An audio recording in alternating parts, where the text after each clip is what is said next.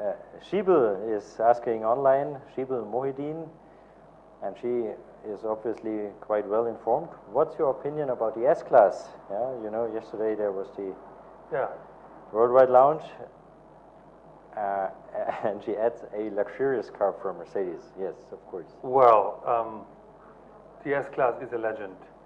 Uh, uh, when you see presidents and head of states all over the world, when they have an official entrance and they have to drive, everybody drives an S-Class. That speaks for itself.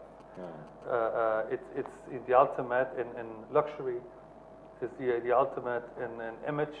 Yeah. And uh, yes, the horsepower is great and the safety is great, and, uh, but the, the image as such, the S-Class, is second to none. Okay. I Perfect. think this is a perfect final statement. Thank you.